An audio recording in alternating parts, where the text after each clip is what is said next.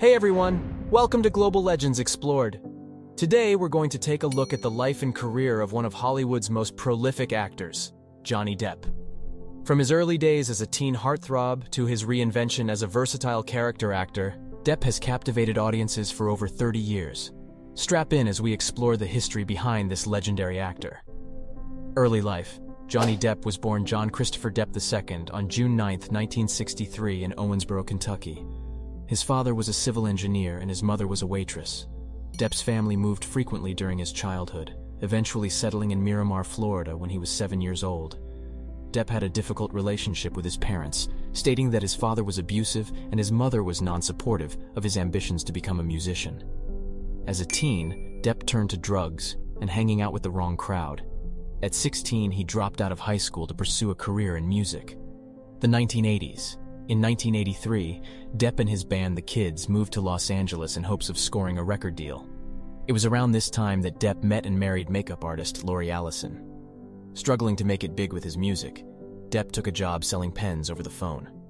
A friend saw potential in Depp and introduced him to Nicolas Cage, who advised Depp to pursue acting. In 1987, Depp landed his breakthrough role on the TV series 21 Jump Street. Depp became a teen idol overnight, thanks to his role as undercover cop Tommy Hanson. However, he found himself pigeonholed and wanting to take on more serious roles. Rise to stardom in the 1990s. In 1990, Depp starred in Tim Burton's Edward Scissorhands, beginning a long and fruitful collaboration between the actor and director. The film was a critical and commercial success, showcasing Depp's range and cementing his status as a leading Hollywood actor. Later that decade, Depp starred in films like Benny and Joon, What's Eating Gilbert Grape, Don Juan DeMarco, and Donnie Brasco. He began cultivating his reputation as a versatile actor, often drastically transforming himself for roles. In 1998, Depp led a starring role in Fear and Loathing in Las Vegas, playing gonzo journalist Hunter S. Thompson. To prepare, Depp spent months living in Thompson's basement, studying his habits and mannerisms. This would become another trademark of Depp's, intensely researching his characters, pirates and critical acclaim in the 2000s. The 2000s were a phenomenal decade for Depp. In 2003, he starred as Captain Jack Sparrow in Pirates of the Caribbean, transforming the Disney ride-based movie into an unexpected smash hit and creating an iconic character that he would return to play in numerous sequels.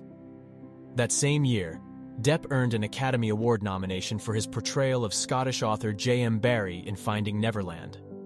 It marked the beginning of a series of acclaimed dramatic performances. He earned another Oscar nomination for his unsettling take on Willy Wonka and Charlie and the Chocolate Factory. In 2007, Depp finally won the Best Actor Academy Award for embodying Sweeney Todd in the Tim Burton musical. In recent years, Depp has faced some controversy due to legal problems and accusations of domestic violence, which he vehemently denied. Despite some commercial misfires like The Lone Ranger, he's continued working steadily, returning to the Pirates franchise as well as taking on the Harry Potter spin-off series, Fantastic Beasts. While his off-screen troubles have occasionally made headlines, there's no denying the lasting impact Johnny Depp has had through his filmography. He will undoubtedly remain one of the most popular and revered actors of his generation. And there you have it, the evolution of Johnny Depp from 80s heartthrob to Hollywood A-lister. Which of his roles or performances is your favorite? Let me know in the comments. Thanks for watching. Be sure to like and subscribe for more videos about your favorite celebrities and movies.